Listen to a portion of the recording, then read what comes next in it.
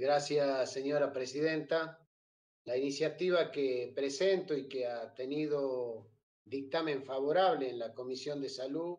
tiene por objeto, respetando la diversidad cultural de nuestros pueblos originarios, sus cosmovisiones, sus tradiciones y sus saberes ancestrales, asegurar la, la concreción del derecho a la salud como derecho humano fundamental. Esto crea puentes que, permiten así garantizarle las oportunidades de acceso al, sistema de salud. Es un proyecto que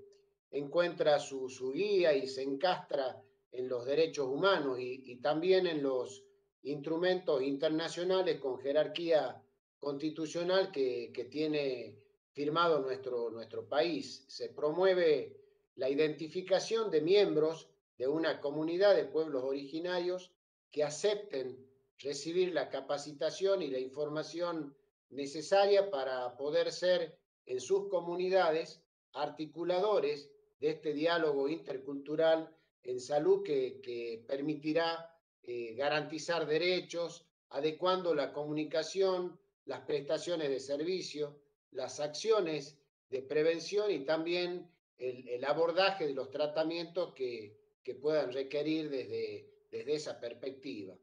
Los facilitadores interculturales tienen entre sus funciones promover la comunicación permanente con los y las pacientes y con los familiares, propiciando así la concientización para adoptar medidas que sean necesarias tanto para la prevención como para la promoción y la recuperación de la salud y que además requieran eh, compromiso y participación. Esto tiene una importancia fundamental también para aportar a lo que es la atención primaria de la salud, esta estrategia esencial de la salud pública que facilita el punto de contacto y es la puerta de entrada al, al sistema de salud. La Comisión Interamericana de Derechos Humanos en su resolución número uno del 2020, titulada Pandemia y Derechos Humanos, eh, pone en valor en relación a un capítulo referido a los pueblos indígenas, expresamente recomendando a los estados proporcionar información sobre la pandemia en su idioma tradicional, estableciendo, cuando sea posible, facilitadores interculturales que le permitan comprender de manera clara las medidas adoptadas por el Estado y los efectos de la pandemia. Eso dice en, uno de los puntos de recomendaciones, como bien decía la Comisión Interamericana de los Derechos Humanos. En igual sentido, la resolución número uno del 2021 de las vacunas contra el COVID en el marco de las obligaciones, también como bien hacía referencia a las obligaciones interamericanas de derechos humanos recomienda a los estados que las campañas de información y de distribución de vacunas se puedan realizar en coordinación con la participación de los pueblos originarios, confirmando eh, y reiterando de manera esta relevancia que adquiere la figura del facilitador intercultural.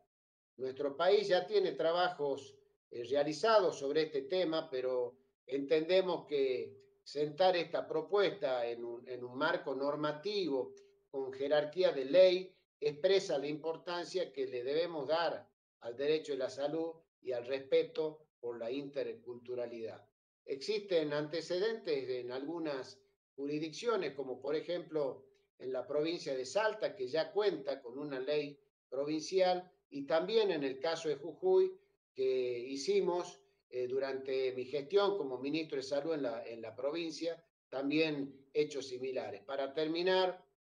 eh, las acciones de orientación, de información, de acompañamiento, de prevención y, y también las posibilidades de contar con el acceso a servicios de salud que sean oportunos y de calidad, eh, sin duda incrementan notablemente las la posibilidades de mejorar las condiciones sanitarias de la población. Por eso hablamos de salud y de derechos. Por todas estas razones, entendemos que es de suma importancia que se apruebe este proyecto de ley y, les pido el acompañamiento para que eso eh, sea eh, realidad. Muchísimas gracias, señora presidenta. Gracias, senador.